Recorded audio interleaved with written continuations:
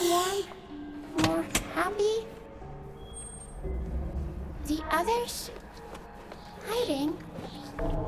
Oh, scared. Please, help them.